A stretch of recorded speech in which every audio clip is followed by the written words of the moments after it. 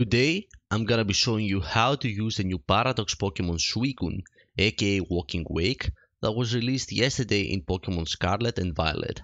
I'll tell you all the sets, all teras that can work, EV spreads, as well as partners that work well with this Pokemon if you try to make a team with it. Before we get before we get into the sets though, I wanna quickly give you some info on how this Pokemon is used, as well as the teras that can work on it. This is a Dragon Water fast, hard-hitting special attacker that works in or outside of Sun. In Sun, it not only gets ability Photosynthesis activated, but its signature move Hydro Steam, which is an 80 base, uh, 80 base power move, special move, gets another 50 base power to it instead of being weaker in the Sun, making it a 130, 130 base power attack in the Sun. That, however, doesn't mean you can use this Pokemon as a regular special attacker outside of the sun. It still has incredible stats. Its typing is great, and moves you can you can you could easily do like Hydro Pump over Hydro Steam, or even both in case your opponent decides to use it. When it comes to its teras, each Tera has different benefits, different damage rolls, advantages that you can think and decide if that's what you want for your team. The four Teras that I think work the best here are Water, Dragon, Steel, and Fairy. Tera Water makes this Pokemon even more insanely strong, getting kills in or outside of Sun versus many relevant threats. Kingambit, Defensive Gholdengo, uh, Clodsire, or even Tera, Fairy Max PDF uh, Garganacl after Protect can drop into Hydros easily.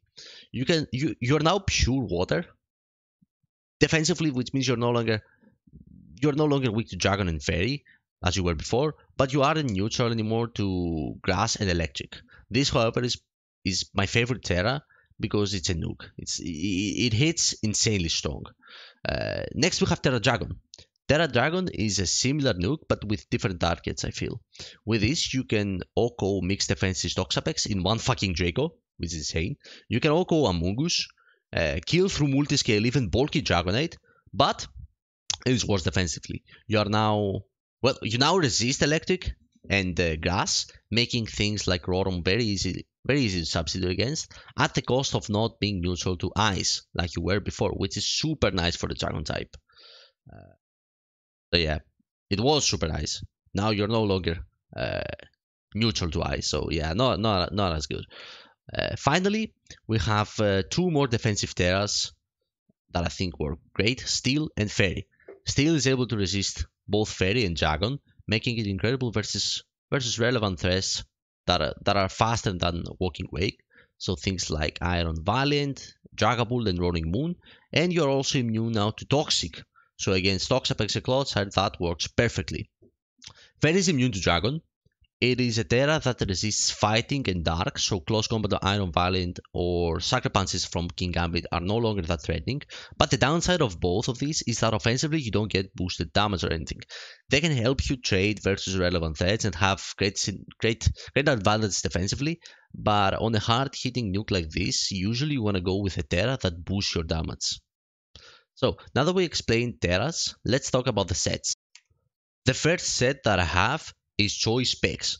Choice specs is usually how you want to play this Pokemon, making it the nuke that is meant to be. In sun or in no weather at all, I would go with the 4 moves that you see in front of you. However, this thing can function extremely well in rain too, using Hurricane instead of Flamethrower. With photosynthesis activated, there is nothing that can switch into its attacks. Everything is going to fucking drop. The insane calcs that I gave you before versus Toxapex and Clodsire were not even in the sun with photosynthesis activated. It's like a Gen 6 Keldeo on steroids. You get this Pokemon in, click attacks, things things gonna drop. Not much more to explain with this set. Next, we have a really cool set that you can manually set up sound by yourself and activate your photosynthesis boost. Instead of using agility 3 attacks, we're using Sunny Day that with this EV spell is gonna boost your speed over special attack, but your flamethrower and hydro steam also get boosted, making it work like some sort of 4 turns, uh, some, some sort of 4 turns special dragon dance of some kind. This set allows you to use this Pokemon with a Sunny Day boost that it's meant to get outside of a dedicated Sun team, which I think is really, really cool, and can function as a late game late game setup sweeper or even or even early game hard hitting Pokemon in many teams. You can do uh, you can do Life Orb or Weakness Policy, but if you do want a Weakness Policy, it should be used with Tera Water and only dedicated screens, hyper offensive builds. Alright, this is the Eject Pack Walking Wake set. This set works both in or outside of Sun and is meant to use Walking Wake as a pivot.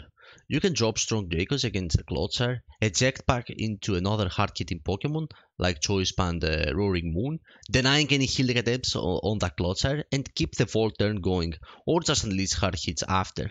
This set allows you to bring a lot more a, a, lot, a lot more uh, freely strong Pokemons in with beneficial matchup while still dealing a lot of damage and have great utility.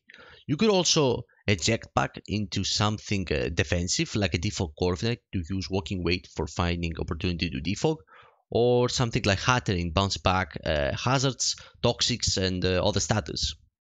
Yeah, definitely try this set. Takes full advantage of both the great offenses and defensive typing with decent bulk Walking Wake has, making an excellent pivot. Here we have a very similar set to the Sunny Day one that I showed you above, however this set is meant to be used in dedicated Sun teams only. The advantage of this agility set is that you're dedicating your photosynthesis, your item and nature to maximize the damage you can do and only rely on agility to boost your, to boost your speed, when on the manual Sunny Day set you couldn't run Modest and your photosynthesis was boosting your, your speed over special attack, Heck, you didn't even have like 252 special attack investment. Here, you can have it all, but at the cost of running this on a dedicated Sun team that is boosting your photosynthesis, boost your Hydro Steam and Flamethrowers, making this set an insane sweeper. Next, we have the Substitute 3 attack set. I highly recommend in this one to use Tera Fairy, so Infiltrator Dragapult cannot revenge kill you, and you can get many key substitute versus various threats. The set is meant to sub up against defensive Pokemon like Toxapex, Rotom Wash, Garganacl, and turns you're expecting your opponents to click status so you can block it. You can PP stall the wishes and recover Alomomola, Toxapex, and Garganacl have, and you could also get away with a much slower but a lot more HP invested eh, EV spread than the one I'm showing you. For example, if you invest in max HP, your substitute can often leave Earthquake from Clodsire or Earthquake from Garganacl.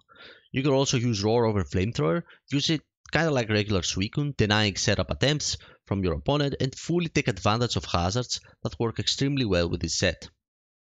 Stealth Rocks, Spikes or even T-Spikes as well as knockoff support to get rid of opposing leftovers and push make this set a lot more effective. Dragon Pulse is used uh, because if we use Draco behind the sub, you will be able to hit once and be forced to switch. Instead, this weaker but more reliable Dragon attack can still it, it, can still allow you to burn uh, recover PPs from defensive Pokemons without having to switch after one or two attacks. For final set we have Choice Scarf, very straightforward set, same thing with Choice Specs, if using it on rain you can slap Hurricane to hit the grass types and be 100, 100 accurate with it. It's uh, meant to lure faster threats and still ogle them, so things like Roaring Moon, Dragapult and Meowscarada. Uh, it's a lot weaker, but it has its advantages, and in sun or in rain, it still hits quite hard. If only it had U-turn, Choice Scarf would have been super good, but but it doesn't, so I ranked it. Uh, I ranked this at last. So yeah, these are the sets that I think work great on Paradox Suicune. Let me know how you feel about the ones I showcased in this video, or if you have any other sets for this Pokemon that you think would work great. I would really appreciate if you guys subscribed, like the video, and comment below as it helps with the algorithm. But but yeah, I hope I hope you like the new Paradox Pokemons we got. Hope you like the video, and I'll catch you with another one tomorrow. Bye bye everyone. Peace.